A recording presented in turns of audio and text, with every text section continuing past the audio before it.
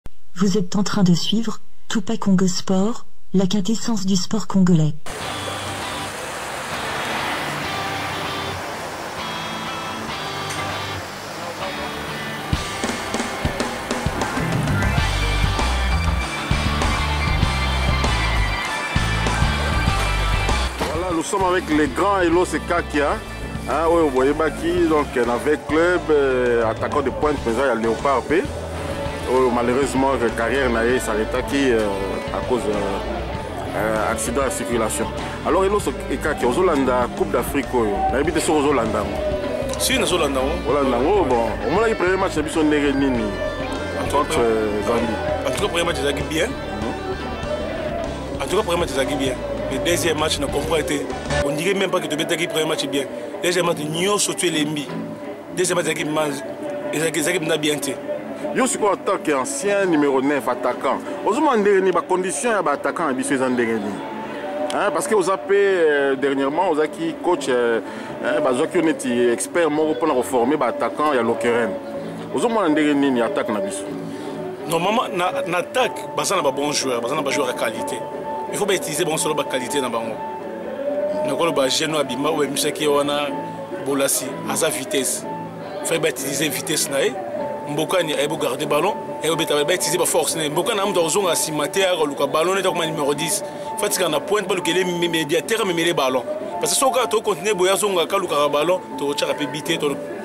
tokotya bi ya chance tolobela ba 00 po défense ezo défendre gardien o défendre mais à partir ya milieu ti attaque fo baluka babongisa no eloko wana babongisa ateke biso toyebi makambo bali ndenge ezalaka tokorrige entraîneur te tokorrige bato te mais biso toa toa mpo na mboka ntango toolanda ngo tokokoce mpe ata na bapalais tovandi tokokoce en tout cas babongisa na moke milieu moto ya moto arespecte place na ye babeta motema selon qualité na ye mais sikoyo donc euh, soki tolandi yo bien numéro 10 aozanga biso en tout cas numéro 10 na oyo ozwa ballon amemela pesi nanga amemela mbokani amemela petio na bolasi amemela euh, jeune oyo azobeta oyo abeta nosasuna wana mm. aza te bakomi ozonga déjà so ozongi azwi balo tia mata nango énergie ezokende eh, en tout cas vraiment osala pele osusu te ekomaka bazozwa balo bazosakana nango bosiko towana swa te il faut topolisa tunisie wana eh, mpo na yo eh, tactique nini faut toadopte mpo na match wana en tout cas nga mpo na nga mpo topolisa tunisie en tout cas fo bautilize moto ya moto osala qualité na ye batika ke yo moto place na ye te batie na place na ye batya moto na place na ye mpenza bautilize bolasi selo bavitesse na ye bautilize eh, masa wana abetaka na osasuna selo bavitesse na ye en tout cas so toutilize baele na bavitesse na bango tosala quelque chose mboka natika na pointe atika kozonga koluka ballon lokola numéro 10 batya biso numéro 10 okomemele ballon ke totize totravaille solo moto na qualité ne moko na tike na place na ye baelie babata vitesse totize bavitesse na bango couloir na toka tosala quelque chose sino te kaka boye ka nde tobetaki contre euh, euh, match oyo toleko contre euh, cap vert tokosuka bika soki soki nzambe ayoki biso mawa 00 ou tokopola mais tobetaka avec 3 numéro 6 na terrain mais kasi mais alors to voilà so tobeta to so tobeti ndenga na yebi na bale ndenga na yebi na connaissance na so tobeti avec 3 numéro 6 c'est tobeta défensif donc tu as besoin ya nil on a évité mpo na ngai na koji entraîneur wana te ye mpe ana vision na ye nga mpo na ngai oyo tobeta neti 3 numéro 6 toi besoin toi besoin ya nil alors tokanga batia te mais bazobe boccasion gradia ayedaki soki bitonga te pola malgré trop numéro 6 alomoki yana ngo na sens te mpo baluka numéro 6 azali numéro 8 azali numéro 10 azali moto mdana role na ye ayebi role na ye kotya numéro 6 na 10 te mpo akokobeta te ozonga ngai na nsima tya 10 na 10 ata abetaka danger te soki ndenge nini ongo te numéro 6 obetaka danger tya 10 na poste na role na ye kobeta role na ye mboka na atika na pointe afanda kuna atyela biso babikuna tolingi te azonga na nsima ngomoloka numéro 10 non atika na pointe atya babikuna bolasi botize vitesse te na bacouloir Bas masa na beta no sasuna ba utiliser vitesse na ye. En tout cas, il faut quelque en tout cas Tunisie so ba so ba so ba utiliser bango. Et ça quelque chose millier pe bo ba bongisa millier. Ba bongisa beta millier. Na oyeba te numéro 10 nani, numéro 8 nani na millier wana. Na oyeba te. Na mona pe na na mona chancel, na mona munga ngo akotelaki mulumbu. Lema mais numéro 10 numéro 8 c'est qui c'est qui nani azobeta 10 nani abeta 8 nani akoservi mbokani nani akoservi bolas nani akoservi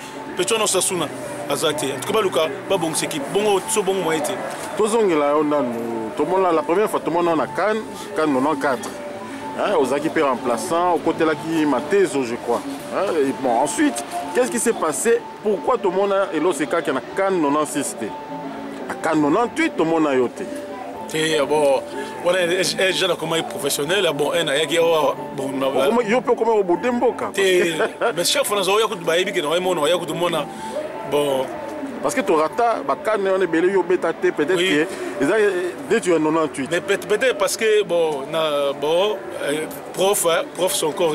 repose en paix ye azalaki bon ye ye ye azalaki olingani tant sur ba vedette te nga za vedette d'équipe na koto na ye kuna sa net a diminuer nga kaka bon nga biloko na zoli nga pe sous nga biloko nga ba désordre na lingaka te biloko eza na désordre nga bomona nga sous te neti ba conflit nga na ye sikoyo comprendre neti ye alingi nga alingi te mm. alors na préfère que oleke na ye atiaka nga te obe aya toswanaka na préfère nayaka te navandaki nanga mais oyo 98 nakomi tya kobeta mpe na nderlek biso kija 5 ans tobima champion te fai tobima champion losele yekaka kina tikala nasololaki na constant maka yebi esekekeno fo tobima champion 5 ans deja nderlek ebima champion te toi ja tomene na classement fo natikala mpo tobima champion natikala Et maintenant, que devient Elo Sekakia Elo Sekakia, quand même, hein, dernière fois, tu as dit que non, aux gens à l'occasion, est-ce que mission, ils ont continué Kuna te mission oyo mission ezokonde toujours na l'ocarine eza toujours na l'ocarine ozoforme bajeune ya ba 17 ans 18 ans baattaquant surtout mm. mais na réserve mpe naza na staff mais nazoforme baattaquant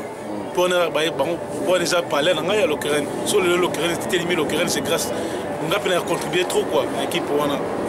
ah, bon alors euh, maintenant na ngai na ona yeba Euh, manque de technique peut-être parce que yo toza komona euh, technique de, de, en tant qu'attaquant de pointe technique ezalaki mais lelo bajoueur on dirait technique eza susu te football yango ekoma kaka neti un peu plus de physique okoloba nini neti bafrançais bazo se plaindre euh, mpo na banoir baleki trop na équipe nationale eh, bazozwa bango kaka na bacritère ya physique eloko nini okoloba par rapport ya baattaquant ya lelo ma tozomona so technique te oyo biso ya congo batakan batakan oyo disons batakan meme ya awa meme oyo biso ya congo nayebi te nayebi eloko na kane wana ozomona ndeni oyo ozomona nyonso na kane nga bina na kane namo bajo ya kalite bayali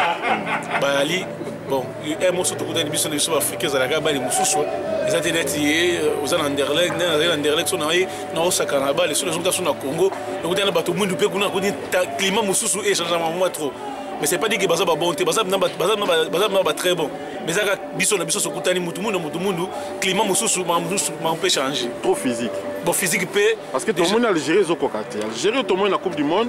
hein et ils ont bêta bien mais na can Algérie Tunisie bazo cocaté est-ce que ça excès à physique neti contre l'adversaire africain parce que eh, même baptise Algérie baptise contre l'africain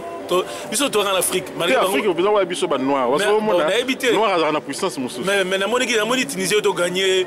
zambia wa donc eh, wana sikoyo eza balakine na biso oyo te concentration ya banoir omona neti oyo basalaki biso na coupe du monde bagana wana bakesaki babi na suka wana toko comprendre peut-être mais physiquement physiquement biso parce que tobotama déjà biso biso mabale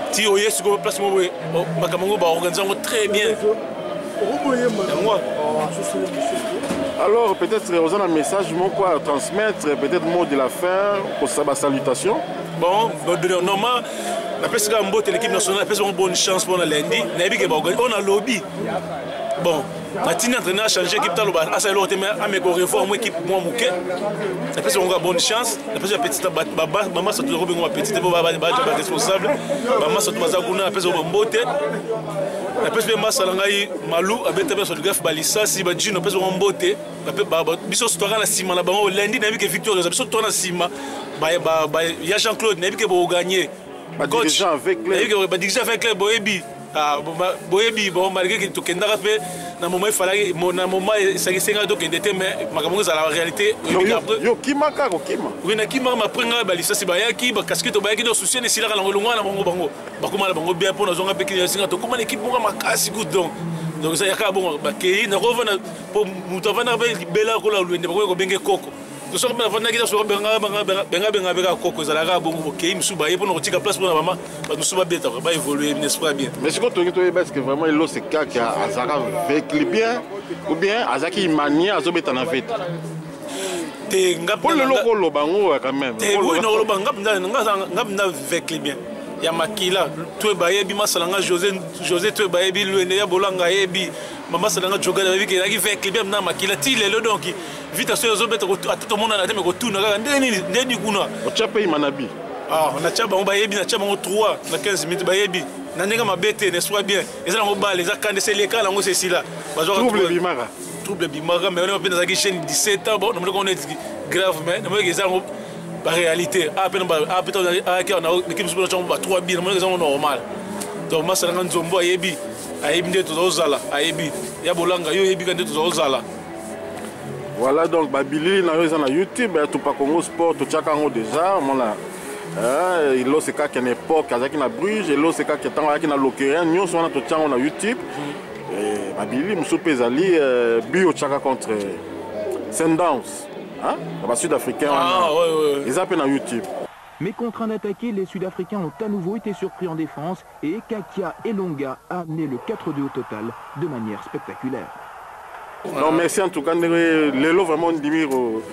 Mais est-ce que yo posa euh, membre équipe awa ya Metra? Oui, na beta na Metra ko. Même joueur benza. Donc numéro 5 na bango ya motema. Mais nde nini? Ah, okoma numéro 5. Okoma numéro 5. Parce que na moni vieux Tosta o, akoma pe akomi na sima. Euh. Ah. Paul Emon est bête à 5, Emon est bête Paul Valan quoi. Bah, bah, joueur, le bon joueur, joueur, clé et l'os.